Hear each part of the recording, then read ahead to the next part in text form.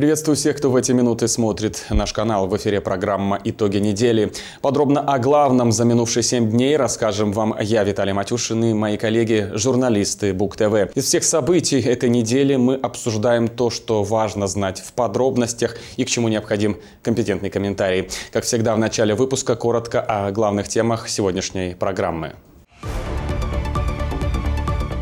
Руководитель региона Юрий Шулейко продолжает знакомство с высшими учебными заведениями Брещины. Высокая оценка дана работе Брестского государственного технического университета. Белгазпромбанк внедряет новые инструменты для упрощения финансовых процедур. В Брестской областной дирекции открытого акционерного общества Белгазпромбанк презентовали уникальный для Беларуси продукт – банковское сопровождение контрактов. Торжество Мельпомены вновь встречает своих поклонников. В Бресте прошло торжественное открытие 25-го международного театрального фестиваля «Белая вежа». Сейчас об этом и не только подробнее в итогах недели. Брестский государственный технический университет подтвердил свою девятую позицию среди 57 вузов страны по данным отчета Webometrics Ranking of World Universities за первое полугодие 2021 года. А в мировом рейтинге место Брестского государственного технического университета 5063 среди более чем 30 тысяч высших учебных заведений. Это говорит о том, что система образования в Брестском вузе непрерывно совершенствуется, уровень профессорско-преподавательского состава и используемые методики позволяют выпускать специалистов высокого класса.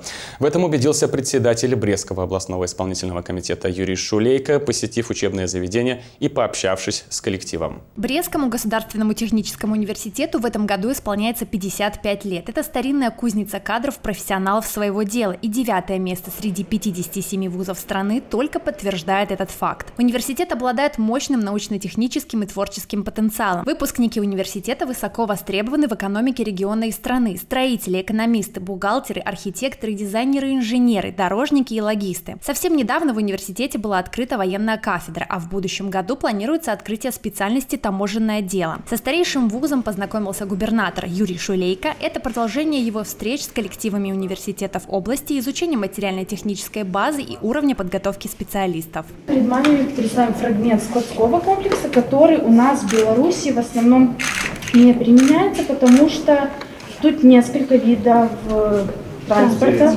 Да. В общем, да, компенсируется своими этими, так сказать, научными разработками смешанным таким видом непосредственно. Ну, старайтесь, что тут говорит. Сегодня мир на колесах, есть такое выражение, поэтому он сегодня обращен. Но ну, а в связи с тем, что мы находимся ну, слава богу, и на самой крупной развязке да, транспортно-логистической, как автомобильные дороги, так и железнодорожного сообщения, то это будущее. Всему, всему есть, так сказать, к чему стремиться самое ближайшее время приоритетными научными направлениями Брестского технического университета станут комплексные исследования и инновационные проекты в области строительства, информационных технологий, машиностроения охраны окружающей среды. Преподаватели и студенты вуза уделяют большое внимание данным направлениям, считая их по праву двигателем прогресса. Молодежь в университете занимается всем – разработкой новых приборов, приспособлением инструмента, компьютерных приложений, а также изучением и собственной переработкой уже существующих научных патентов. Им интересно все. Устройство клавиш клавишная ввода эргономической формы, то есть это клавиатура не стандартной формы, э, созданная для людей, которые часто работают за компьютером, нужно много печатать, и за обычными клавиатурами это не всегда удобно, то есть приходится иногда выгибать вон так руку, из-за чего развивается туннельный синдром, из-за этого руки продолжают болеть, даже когда человек уже не работает за клавиатурой. Поэтому э, была разработана клавиатура формы такой, э, она позволяет просто положить, и рука имеет доступ ко всем клавишам, которые здесь есть, не надо никуда ее выгибать, и руке удобно, эргономично, и все хорошо. Решили повторить, просто разработать свою разработку, чтобы она у нас была. Эти клавиатуры еще дорабатываются. Э, такие клавиатуры имеют аналоги уже серийного производства, э, то есть их выпускают вот непосредственно для людей с такими синдромами, с такими проблемами, либо просто это удобные клавиатуры для некоторых людей, которые привыкли к ним, хотят работать, это удобно, они достаточно компактные, можно работать где-нибудь в дороге, куда-нибудь их с собой брать, э, собственно. А и также есть аналоги, которые уже были разработаны, выпускаются в серийном производстве, но стоят больших денег. Где уже введено в эксплуатацию, когда и как запустить в производство то или иное изобретение. Вот такие вопросы в первую очередь задавал губернатор, представившим свои работы аспирантам, студентам и преподавателям вуза. Ведь в полной мере научные достижения не имеют сил ровно до тех пор, пока не начнут использоваться на практике. Альтернативные вяжущие. Вяжущие Так, э, применяются. Как, как ее запустить в серийную, так сказать, производство с твердостью такой, да, минимальной толщиной и долговечием? Как запустить производство? Что, что для нужно, на какой, Деньги. ка- какой завод КПД? Нужно, мы Нужно продвигаем. Это какой материал? Здесь у нас э, гипс вроде бы в состав, э, остальные части разработки в секрете держатся. система. В отличие от керамических плиток, где идет обжиг, здесь обжига не применяют. Здесь совершенно технология безобжигового производства этой плитки. Баранович железобетон, да? У них, в принципе, и спонсор есть, это как бы цементная компания непосредственно. Вот предложите им сегодня, да, на базе чего-то нового, давайте подключите меня, предложите им то, что сегодня она будет иметь серийное, так сказать, производство, пускай это плитка, Поднимались также и острые вопросы. Губернатор поручил техническому университету проработать проект модернизации областного центра молодежного творчества и дать студенческим отрядам возможность участвовать в разработке проектов, а в дальнейшем работать на строительных объектах. пресс, да, сегодня, я считаю, один из главных вузов по проектированию там, жилья и тому подобное.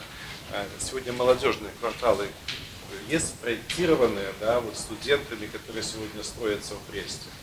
Вот какой-то, ну давайте тему, так сказать, э, которая ну, с учетом лицензий, которые мы получим, этих прав, да, давайте заложим сегодня базовый какой-то, ну, квартал, да, где будет спроектировано вместе с домостроительным комбинатом, да, с их фантастическими идеями, может быть, с какими-то, так сказать, новшествами, да, ну вот эти мы видим сегодня в хаусе всевозможное, ну, похоже там, как малая боровая, там что-то, ну, оно же мир не стоит на своем месте, да, мы видим вот эти, вы сделайте что-нибудь с пионерским нашим, домом пионеров, вам поручение, да, вы доведите в эту входную группу, да, чтобы она не текла, да. ЦНТ. ЦНТ наш, да. Потому что вот, э, ну, вроде бы и неплохое заведение, вроде бы красиво посаженное, да, я по, по строительному правильно сказал, как бы, наверное, да, но вот туда оно течет, да, эта палуба течет, да, через палубу течет, лестница там коряво. Вот позанимайтесь, Да. коряво. Все, Да. коряво, объективно скажу, да, это не для Брестской области, когда рядом стоит э, ну, технический университет с самым сильным в м, строительном проектировании. Позанимайтесь так, на факультативном, так сказать, уровне, предложите какие-то моменты. Может, мы с молодежных бригад и сделаем вот этот фасад именно подтянем. Руководитель области также посетил святая святых научной деятельности университета, лабораторию промышленной робототехники, которая была открыта в 2019 году для углубления научно-технического сотрудничества науки и производства в регионе, подготовки современных квалифицированных инженерных кадров и популяризации новых технологий в стране. Талантливыми инженерами, программистами на базе лаборатории ежегодно создаются новые перспективные проекты. технология разработана в Казанском университете, он поставляется из компании, но э, ну, много специфики внедрения на предприятии, мы эту специфику... В основном маршрутизация. Да, да, гибкие транспортные системы, то есть не вкладывают деньги в конвейера, которые стоят, и с ними ничего не делаешь, маршрутизация очень сложно, сложно приходится. Эта штука сегодня есть по одному маршрутизация по-другому. И самое главное, намного вот то, что вы видели на пилоте на Савушке, намного безопаснее, чем карщик, человек задевался, правильно. Юрий Шулейко был впечатлен многими моментами, которые увидел в Брестском государственном техническом университете, разработками, о которых ему рассказали сами студенты и их руководители. Перспективный вуз, вывод однозначен, его выпускники просто необходимы региону. Об этом руководитель области говорил уже на встрече с коллективом университета, представив своеобразный отчет о развитии Брещины за последние годы, отметив устойчивость экономических и промышленных показателей, успехов в развитии свободной экономической зоны Брещины и значительно выросший уровень строительства. Губернатор говорил об университете, его превосходстве в тех или иных позициях, а также престижности профессии инженера. Конечно, затрагивал и другие темы, например, непрекращающуюся сложную эпидемиологическую обстановку. Юрий Шулейко поделился и своими мыслями по поводу актуальных задач, стоящих перед регионом, в частности, нехватки квалифицированной рабочей силы в сельском хозяйстве, например. Сегодня работы немерено. Нужны глубокое образование. Глубокое образование. Э, Нам есть к чему-то стремиться и давным созданным постулатам, которые сегодня есть. Вот задают всегда вопрос, будет ли мне рабочее место, да? сколько человек отработает на своем месте, сколько он будет зарабатывать, насколько сегодня качественные практики, проходят, и когда вы своих детей, своих студентов отдаете на предприятия, учреждения, там, хозяйства, какие-то заводы непосредственно, надо сегодня, вот всегда вы спорите, а почему у нас, как это самое, ну, не хватает высококвалифицированных кадров? Вы говорите, мы их готовим. А где они тают? Вот где они сегодня тают? Сегодня не хватает э, инженеров, которые пройдут на заводы, где занимаются обработкой металла, станкостроение. Такое ну, достаточно промышленное. В Беларуси станкостроение развито достаточно неплохо. Нас не хватает в сельском хозяйстве. Всех специалистов. У нас, так сказать, э, кадры педсостава, я извиняюсь, школ, просто быстро стареет то поколение. В продолжение встречи Юрий Шулейко ответил на интересующие студентов вопросы. Все они так или иначе были связаны с обучением и университетом. Как вам видится развитие Брестского, э, роль Брестского государственного технического университета в развитии региона? Этот вуз имеет серьезный сегодня фундамент, потому что здесь серьезнейшие специальности, которые заложены фундаментом, повторюсь, тех целевых задач, которые в стране есть вы получаете те специальности, которые сегодня нужны нашей промышленности, социальной сфере, экономике и других направлениях. Поэтому ваш вуз будет развиваться, да, э, так сказать, в контексте тех требований государства по образованию, которые у нас сегодня определены. Нужен в конечном итоге качественный, прогрессивный специалист. Для нашего региона, э, я думаю, это очень важный университет э, для жизни молодежи в целом потому что э, даже мои знакомые, я поступал по рекомендациям, э, что, как я сказал, э, есть чему научиться в этом университете, есть где это применить. Так и вся молодежь двигается именно сюда, если не Минск. Но я считаю, здесь намного лучше. Алена Миневич, Александр Воронин, Александр Макаревич, телекомпания Бук ТВ. 10 лет с момента образования ведомства отметили на этой неделе работники Следственного комитета Беларуси. Важная веха структуры ознаменовалась для Брестской области внушительными цифрами. За все время функционирования только в регионе в обработке находилось порядка 160 тысяч заявлений и сообщений о преступлениях. В каждом из таких дел важно было детально разобраться и установить истину. В Бресте по случаю юбилея ведомства прошли торжественные мероприятия. В числе почетных гостей представителей руководства города и области. О непростой службе, важных итогах и планах на будущее наш следующий сюжет. Установить мотив преступника, определить ход расследования и дать оценку совершенным деяниям. Дорога длиной в 10 трудовых лет для следователей Брещины не была легкой. В производстве за это время находилось около 150 тысяч возбужденных уголовных дел, 52 тысячи из которых впоследствии переданы прокурорам для направления в суд. За цифрами стоит труд большого коллектива работников, которые, невзирая на погодные условия и время суток, выходили и выходят на службу, разбираясь в деталях и мелочах. За время существования Следственного комитета на счету брестских следователей э, десятки тысяч успешно раскрытых преступлений, немало профессиональных побед и свершений. Э, должен сказать, что за сухими цифрами статистики скрывается работа на местах происшествия, независимо от погодных условий, времени суток, кропотливая работа и скрупулезная оценка доказательств в тишине следственных э, кабинетов. С одной стороны, бессонные ночи, напряженная работа, с другой – торжество справедливости. На торжественное собрание были приглашены лучшие работники со всего региона. В честь десятилетия ведомства им были вручены медали, грамоты, благодарности, в отдельных случаях новые внеочередные звания. Слова поздравлений представителям Следственного комитета адресовал губернатор региона Юрий Шулейко. В своей приветственной речи председатель облсполкома поблагодарил их за работу и профессионализм. Огромное спасибо за ту работу, которую вы сегодня делать во имя государства, во имя справедливости, закона, надежности нашей страны.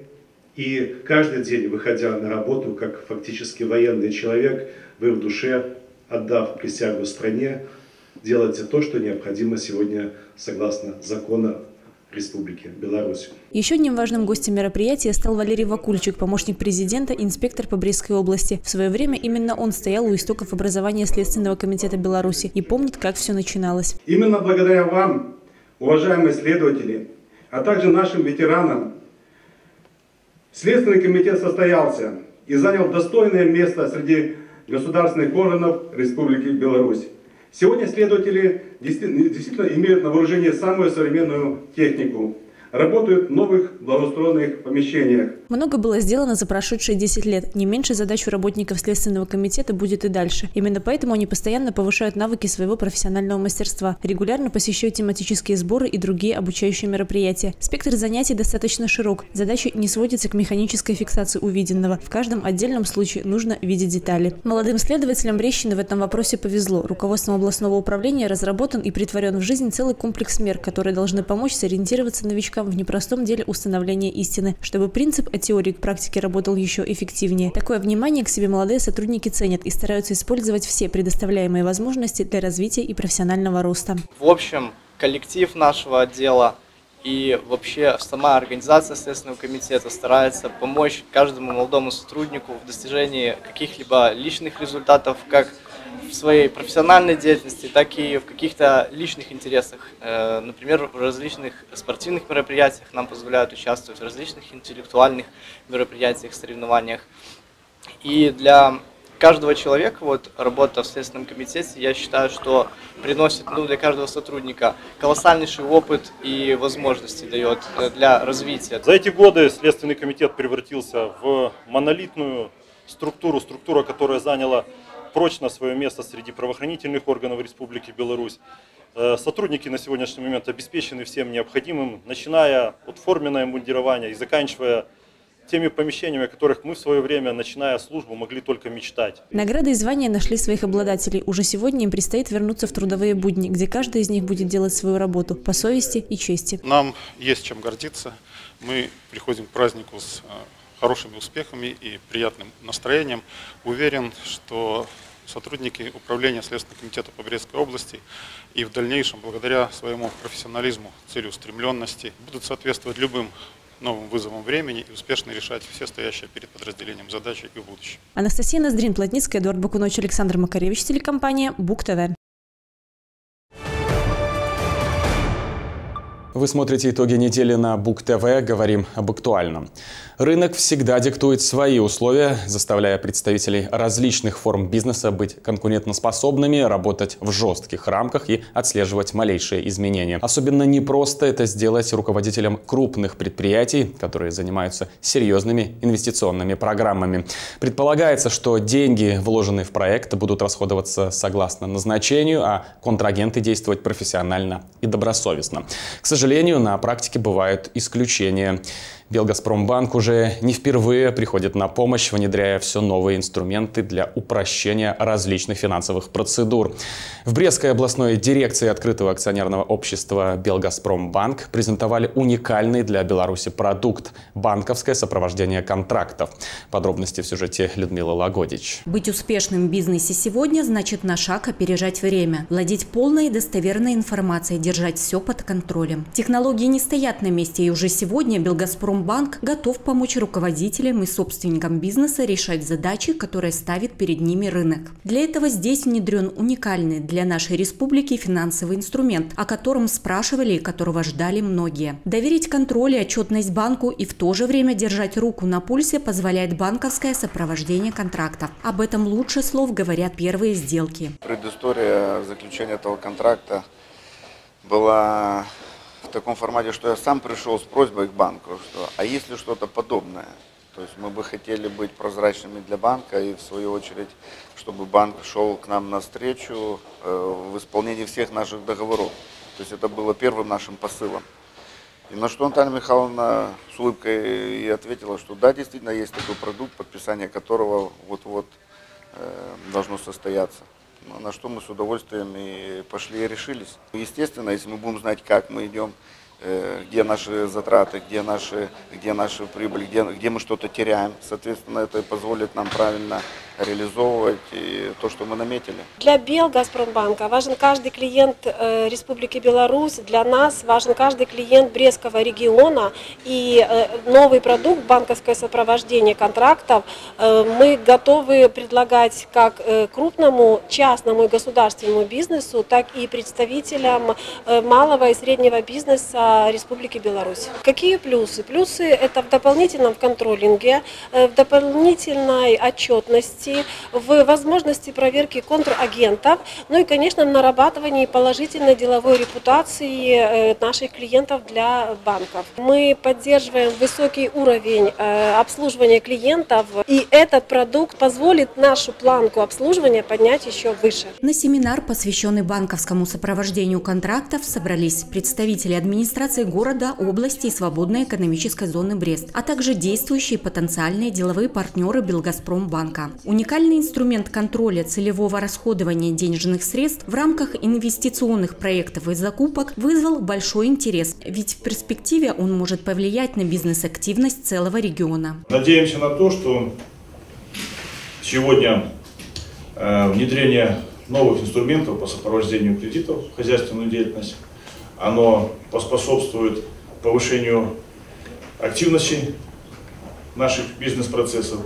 Ну и с учетом того, что данная программа позволит, наверное, создать дополнительные удобства для э, предприятий и организаций по сопровождению э, самих контрактов, в том числе инвестиционных.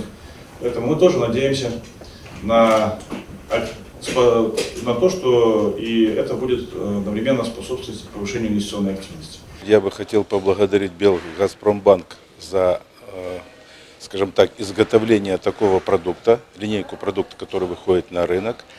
Я думаю, что, безусловно, наши резиденты, а у нас их 73 резидента в свободной экономической зоне, обратят на это внимание и, безусловно, воспользуются этим продуктом в своей деятельности.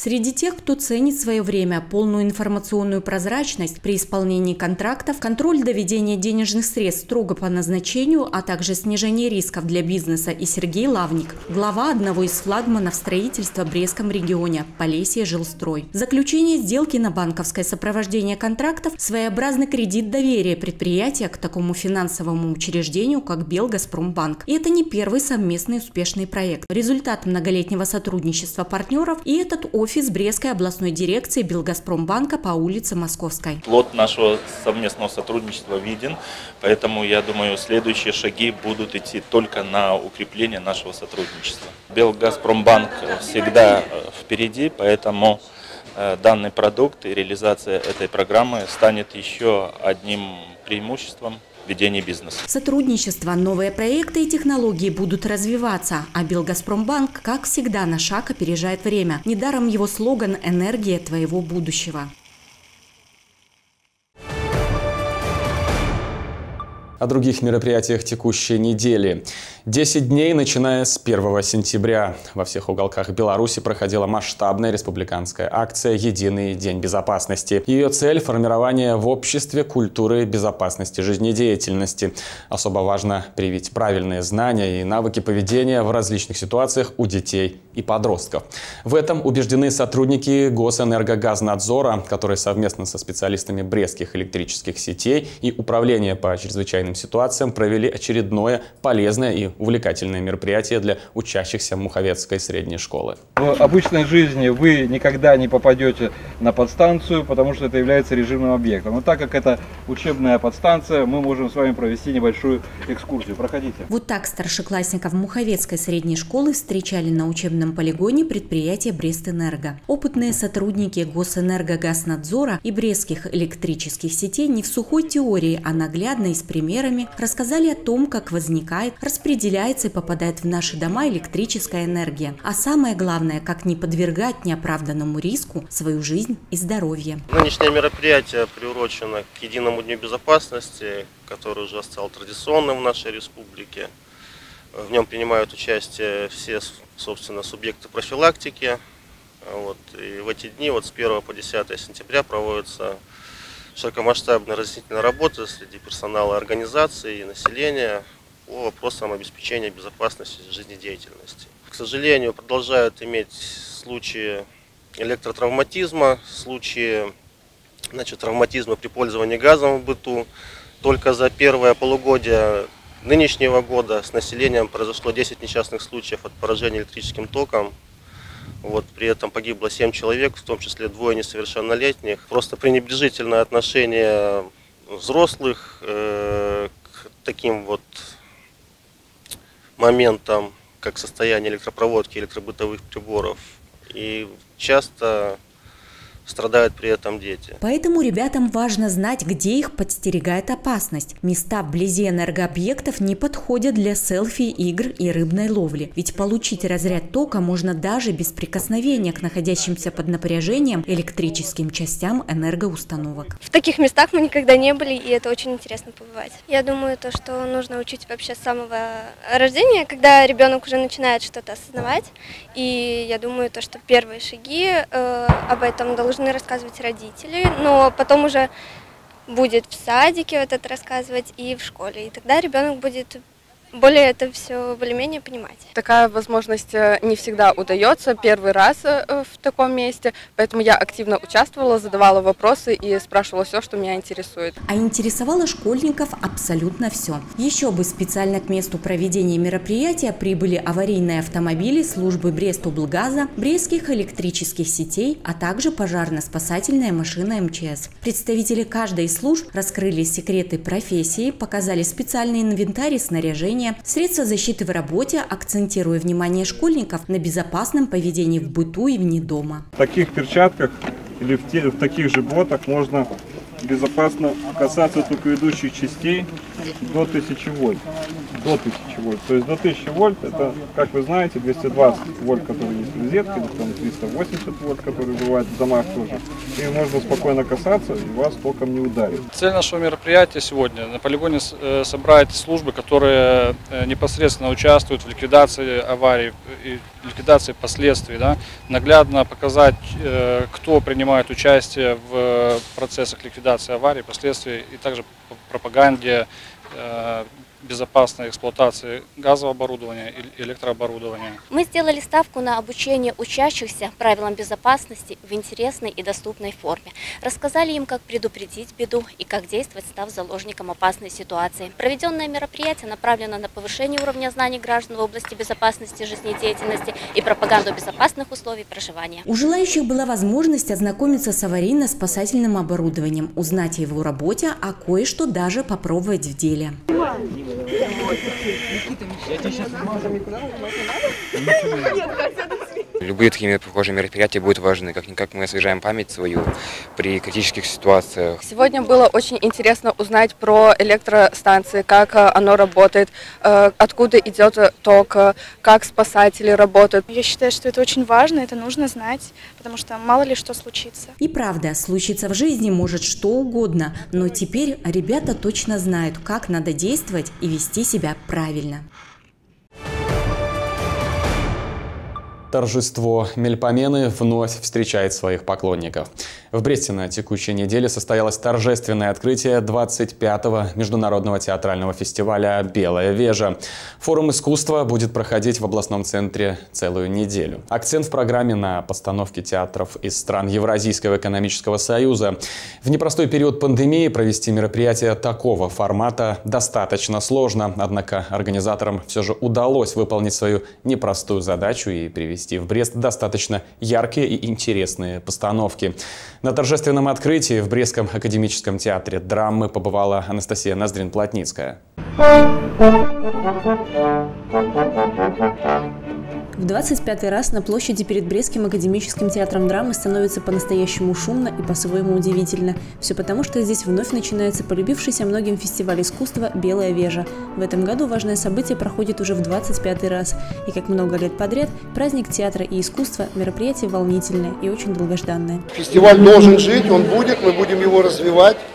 Это, наверное, то брендовое состояние, которое должно быть. Их не так много у Бреста, и здесь однозначно только вперед.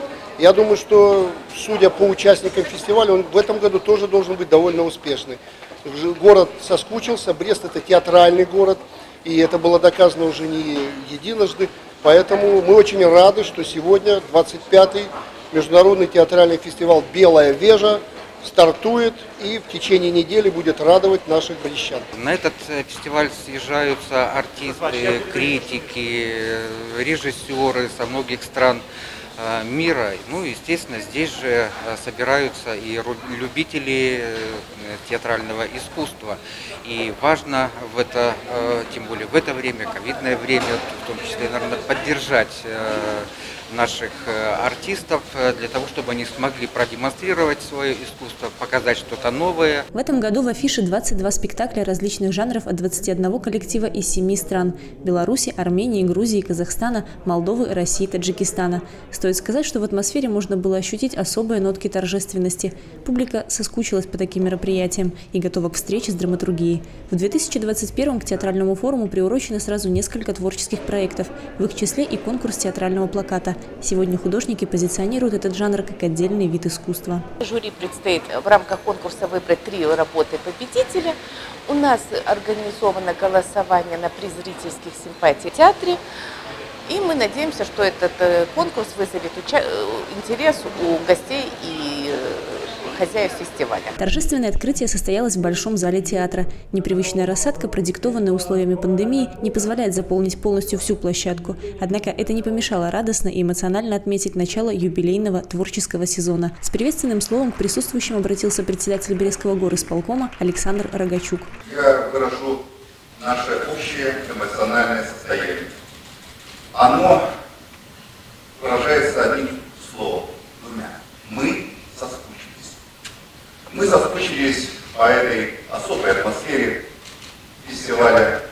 Мы соскучились по общению друг с другом. Я прежде всего хочу поблагодарить.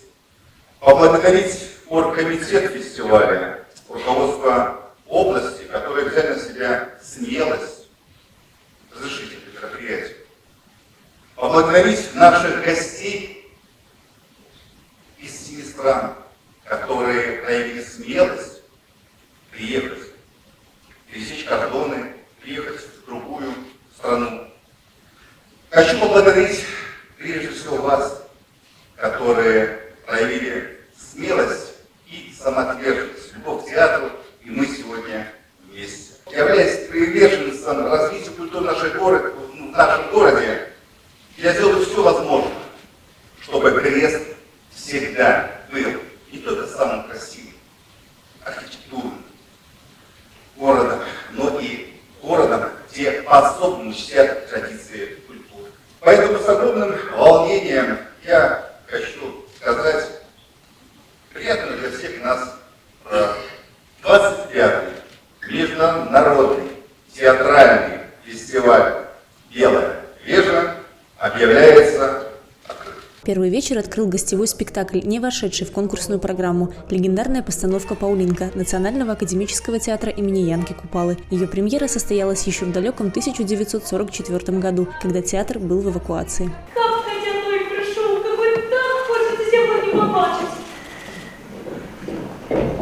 Темнее, темнее. Ночка наближається, а його як нема, так і нема. Аж перепицався, напевно, присті.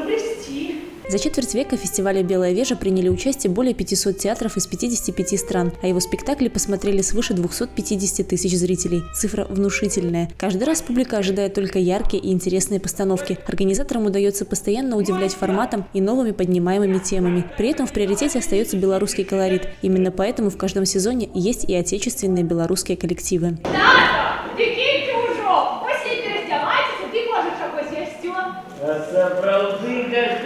какаенькие родненькие добра было капусточки, да кисленькой, да горяченькой. Скину ковдру, скину боты, ты надену лапці, кожний дуранці розумний, пану своей хате. Кстати, на большинство постановок билеты уже раскуплены. С учетом нынешней рассадки зрителей, при которой соблюдается социальное дистанцирование, продажа билетов приближается к 100%. Однако при желании на некоторые спектакли еще можно приобрести билеты. В основном остались места на балконе и единичные в портере. А за несколько часов до открытия театрального фестиваля «Белая вежа» прошла еще одна премьера – открытие вернисажа «Путь к сцене». Это очередной внушительный, одновременно поразительно изящный проект Белгазпромбанка, и он стал своеобразной прелюдией «Белой вежи». И организован он специально для Бреста и Брещан. Леон Бакст, Фердинанд Рущиц, Савелий Сорин, Файбиш Шрага Царфин и наш земляк, уроженец Брест-Литовска Дмитрий Стелецкий – это художники, творчество которых знает весь мир, художники парижской школы, но все они родом из Беларуси.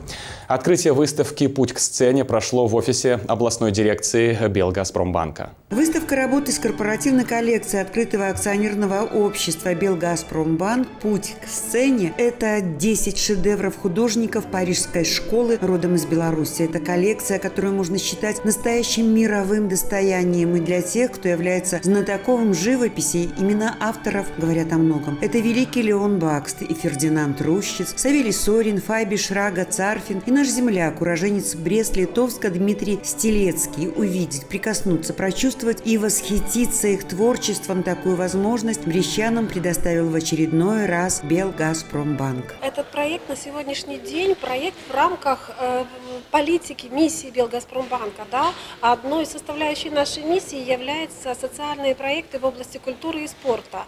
И сегодняшняя выставка как раз вот продолжение наших традиций, нашей миссии. Э, и она приурочена не только к 20 25-му фестивалю «Белая вежа» театральному, но и к предстоящему Дню Единства да, Республики Беларусь. Почему? Потому что э, коллекция выходцев из Беларуси, да, э, художников, которые учились, кто-то в России, да, работал за рубежом. И сегодня эти картины у нас в Бресте, и мы имеем возможность их посмотреть здесь и сейчас, и посмотреть их в банке не просто где-то, посмотреть их в банке, что вот тоже является, скажем, эм, очень интересным. И я хочу, чтобы Брестская дирекция, наше новое здание, стало культурной точкой на карте города Бреста. У нас есть опыт работы с Белкоспромбанком.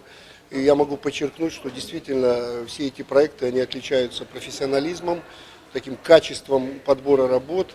И это действительно, наверное, событие, которое достойно того, чтобы мы его э, отметили в городе. На торжественном открытии вернисажа было все как-то по-особенному торжественно. Вероятно, сами шедевры навевали особую атмосферу, ведь высокое искусство основано на чувственности, а в отношении театра и театральных декораций это ощущение удваивается, а все десять представленных картин имеют прямое отношение к театральному жанру. Все художники имели в свое время непосредственное отношение к русским сезонам и русскому балету Дягилева во Франции. Они создавали декорации и костюмы к спектаклям. Тут представлены ярчайшие представители белорусской школы, проживавшей во Франции. Это так радует, что все-таки земляки-то наши вернулись на родину, на свою, не на историческую, а просто там, где родились. Это так приятно. И время не старит эти работы, наоборот обогащает. Оно как старое серебро. Чем старше, тем ценнее, понимаете? И как говорил великий русский художник Филонов, каждая картина не стареет, живет своей жизнью, развивается, и как старое дерево крепнет с каждым годом. Очень приятно то, что эта выставка включенная в рамки Международного театрального фестиваля «Белая вежа», явилась предвосхищением открытия этого фестиваля. Некоторые работы уже знакомы брещанам. Диптих Дмитрия Стелецкого «Бояре», его же картина «Сказка», но изюминкой открытия выставки «Путь к сцене» можно сказать, что вишенкой на торте стала работа нашего земляка «Княжна». Еще нигде княжна не выставлялась, и именно в Бресте ее впервые увидел зритель, а история ее возвращения в Беларусь весьма интересна. Мне очень повезло, потому что я смог в Риге в частной коллекции найти эту работу.